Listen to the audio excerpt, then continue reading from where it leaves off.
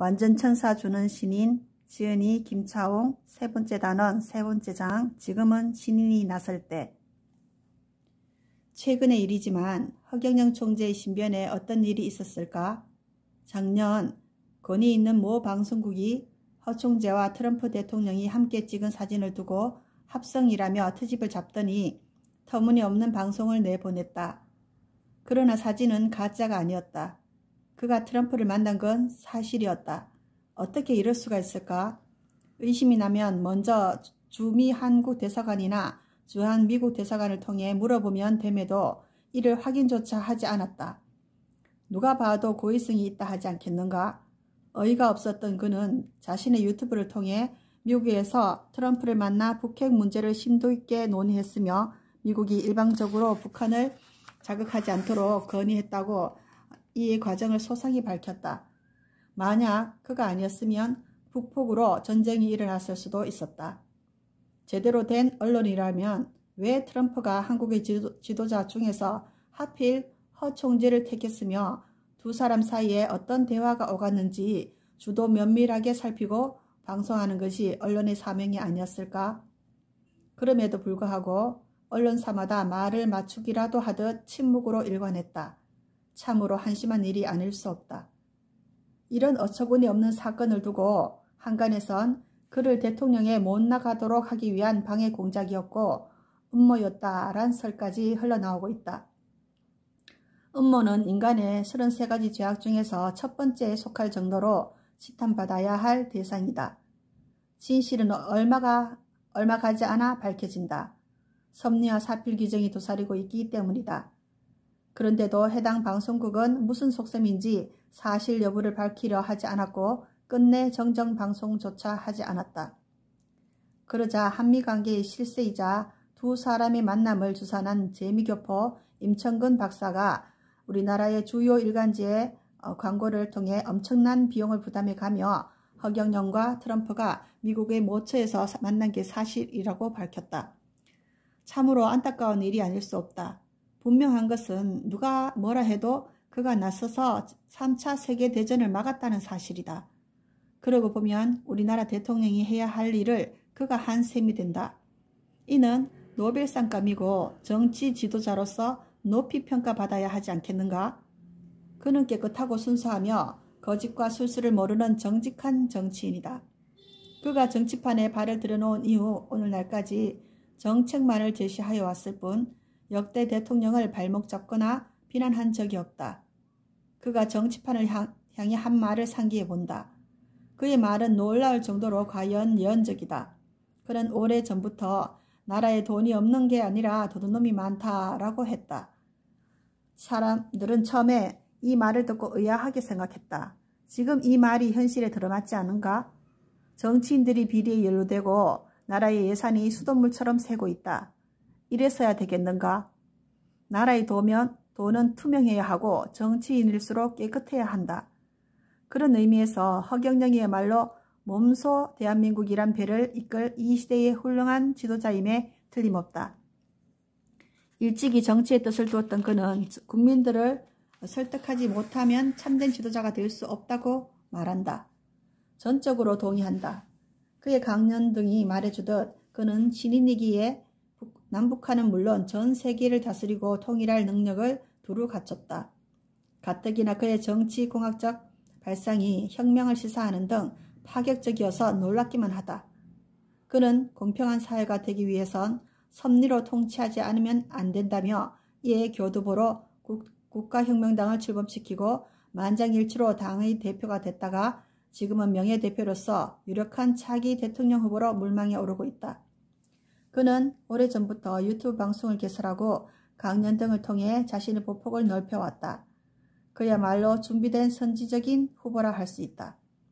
그의 지도자상을 말해주는 대목을 소개한다. 어느 날 그가 길을 걷고 있었다. 나이살을 먹은 사람이 그를 보더니 대뜸 발광체가 지나간다고 말하였다. 발광체는 광원으로서 태양과 같은 존재라는 뜻에서 나온 말이며 다른 정치인은 달과 같은 암체 또는 반사체이고 보면 그의 이미지가 우리에게 시사하는 바가 크다 하겠다. 이렇듯 그는 보통 정치인이 아니다. 왜 그가 이 시대의 지도자가 돼야만 하는가? 그의 눈물겨운 어린 시절이 말해주듯 엄청난 고통과 고난 그리고 고독 속에서 지낸 자로서 서민들의 어려움과 아픔을 누구보다 잘 알고 있고 그러한 경험들이 삶의 기폭자가 될 수밖에 없고 우리 정치 현실이 그렇게 만들어 놓았기 때문이다. 정치 현실만 해도 그렇다. 그것도 그럴 것이 여야를 막론하고 당마다 진영 논리로 티격태격하기 바빴고 우리 실정에 맞는 정책다운 정책이 없었다. 그래서 그는 골이 깊고 반투막 나듯이 이념에 편성하기보다 보수 좌파를 아우르는 정책가로서 명실공히 중도파의 아이콘이자 구심점임을 과감히 보여준다. 그렇기 때문에 그는 삼삼 정책의 승부사답게 국민들에게 솔직히 하소연하고 있다. 오늘날과 같이 극좌 극우가 심화될수록 국민은 강력한 지도자를 원하고 있고 지금이 어, 절체절명의 위기인 코로나19 시대여서 신본주의의 실현을 위해서도 자기와 같이 카리스마가 넘치는 그런 지도자가 일선의 전면에 나서는 일이 절실하다고 맞는 말이다. 거짓과 비상식이 난무하는 등 낡은 세상을 바꾸기 위해 그가 지난 33년 동안 오로지 대통령의 입장에서 대한민국을 살릴 보관을 내놓은 삼삼 정책을 보면 그의 확고한 통치 철학을 읽을 수가 있다.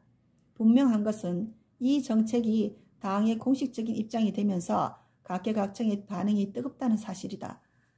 얼마 전까지만 해도 거들떠 보지도 않던 정책이 아니던가. 그러던 것이 제철을 만난 듯 대다수 국민들은 나라를 살릴 가장 이상적인 제도라 하고 있고 일부 언론과 지식인은 세계 정치사의 유래를 찾아볼 수 없는 정책이라고 극찬하고 있다. 놀라운 현상이 아닐 수 없다.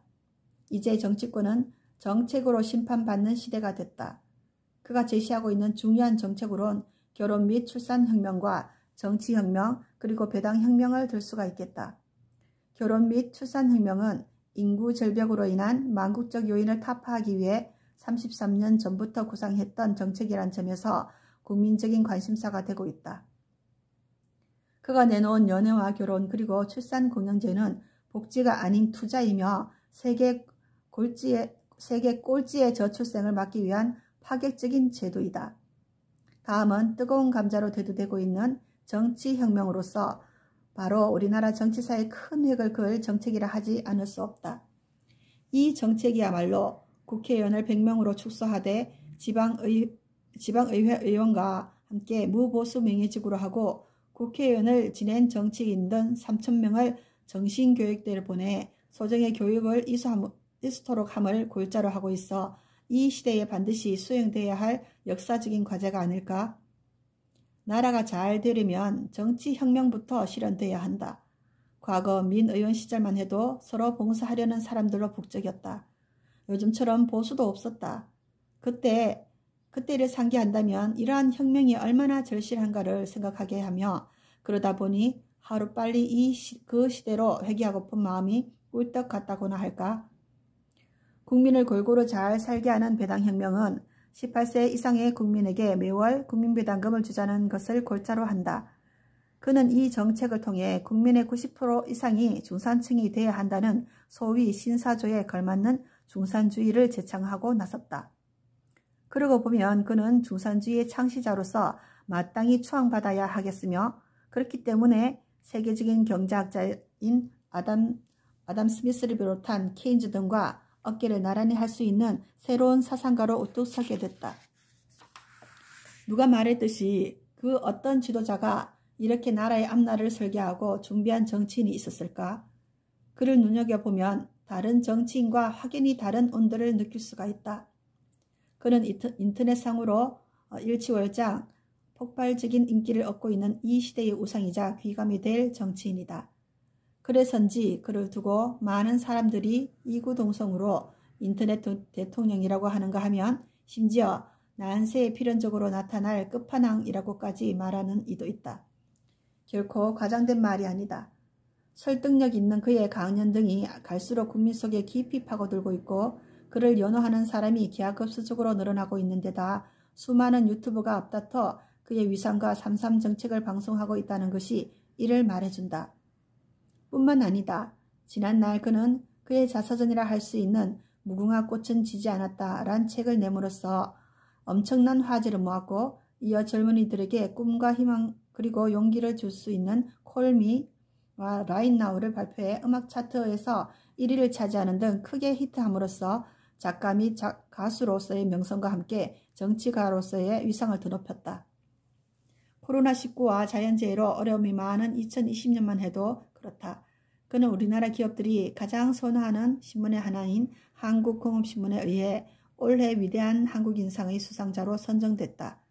들리는 바로는 엄격한 심사를 거쳤고 주요 수상 사유를 들면 이에 신문보다와 같이 허천재는 세 번이나 대통령에 출마해 획기적인 선거 공약으로 국민적인 관심을 끌었으며 총선 예비 후보자를 무려 1020명이나 출마시켜 거대 정당들보다 높아 선거 역사를 새로 쓰는 계기가 됐고 그가 10여 년 전부터 유튜브 강연을 함으로써 전 세계의 지지자들이 1억 명이 넘으며 국내에서도 500여만 명이 되는 등 한국의 위상을 전 세계에 알린 공로가 크게 주요했다고 한다. 또한 허경영은 2020년 퇴임하는 트럼프 대통령으로부터 국가와 지역사회의 발전에 기여한 헌신과 노고에 대한 경의와 감사의 표시로 어, 금메달과 표창장을 전달받음으로써 국위를 선양하는 데 일조를 했다. 이는 지난 서울시장 보선이 그렇다 쳐도 2022년 대선을 앞둔 시점에서 볼 때 호재가 아닐 수 없으며 자연인으로서 정치 지도자로서 그의 어, 위상과 인기가 갈수록 상승 일로에 있음을 보여준다. 그의 비전도 눈여겨볼 필요가 있다. 그는 국민들로부터 박수 가치를 받을 획기적인 방안을 내놓았다. 남북한 간의 전쟁을 막기 위해 어, 유엔 본부를 판문점으로 이전하고 민족의 주체성 확립을 위해 우리 삼국지를 만들며 누구나 읽기 쉬운 한글을 세계의 공통으로 삼도록 하고 경제적 부작용이 심한 금융실명제, 상속세, 김영란법을 폐지하며 정치적 성향에 짙은 노조, 정교조를 폐지하고 전문인의 양성 등 교육혁명을 위해 수능시험을 폐지하며 초법적인 헌법재판소를 폐지하고 직업 군인의 양성과 사기 진작을 위해 징병제를 폐지하되 모병제로 하며 범죄자를 줄이기 위해 쌍벌제 교도소를 폐지하고 근로자의 근무 의욕 고치와 이들의 복리 정진을 위해 주 4일 근무제를 과감히 시행하겠다고 밝혔다. 그리고 그가 거주하는 하늘궁이 영성산업의 메카로서 세계적인 관광지가 될 수 있도록 자원화하겠다는 비장한 각오와 포부를 내비쳤다. 어느 정치인에게서도 찾아볼 수 없는 지도자로서의 역량이 엿보여 공감이 간다. 그는 정책을 수행함에 있어 정치 지도자, 지도자로서 갖춰야 할 덕목과 자세는 언제나 기본에 충실하고 원칙을 철저히 고수해야 하며 따라서 땜질식이나 눈가림식의 대책이 다람쥐 쳇바퀴 돌듯 반복돼선 안 된다고 말한다.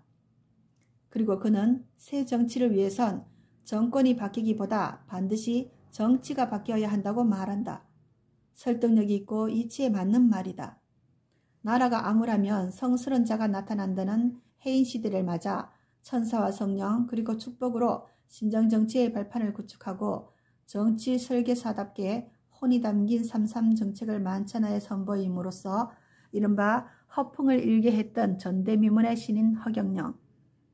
혹자는 정교 분리를 원칙으로 하는 우리나라에서 무슨 신정 정치냐고 꼬집겠지만 중산주의를 실현하기 위해선 그 길밖에 없다. 이는 하늘의 이치이기도 하다. 그의 정치관은 어떤가?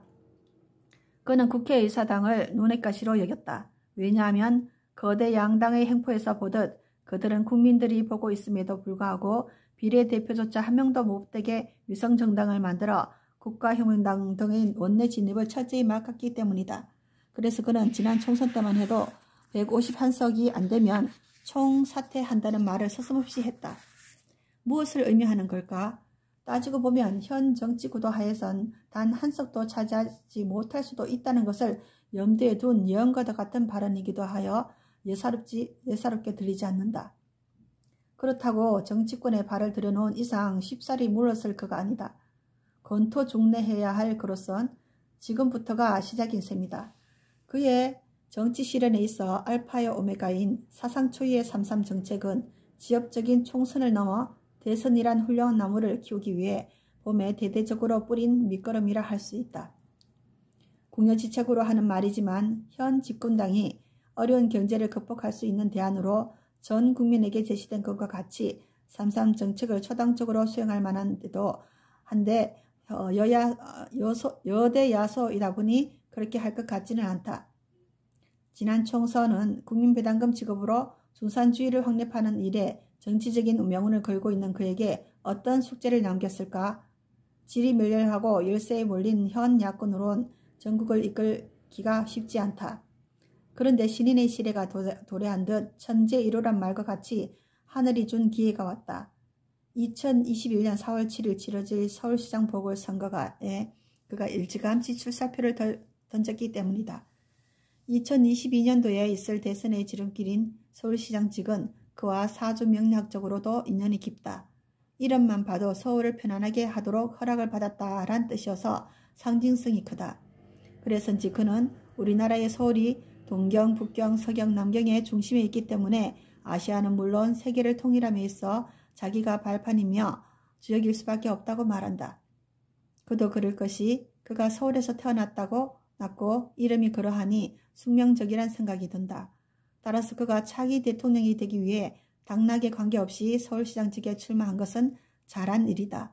그는 서울시의 당면 가저로서 1급수 공급을 위한 새 취소원의 확보, 봉사자로서의 무보수 명예직 고수, 판공비와 업무 추진비 등의 자부담, 부동산 및 자동차 보유세의 폐지, 그리고 시민배당금 어, 월 20만원 정도 지급을 위해 시 예산의 70%를 절약하는 등 다른 지자체의 시범을 보이도록 발빠르게 정책 선언을 했다. 그의 서울시장 보선 출마는 차기 내지는 차차기의 대선을 위해 자신을 알림에 있어 좋은 기회가 되고 보면 어, 매우 어, 시의적절하고 바람직한 구상이 아닐 수 없다. 우리의 정치 현실은 어떤가? 한마디로 어둡기만 하다. 왜냐하면 갈수록 실업률과 자살률이 높고 코로나까지 겹쳐 나라가 총체적으로 어렵기 때문이다. 패거리 정치가 정치판을 혼탁하게 하고 있다.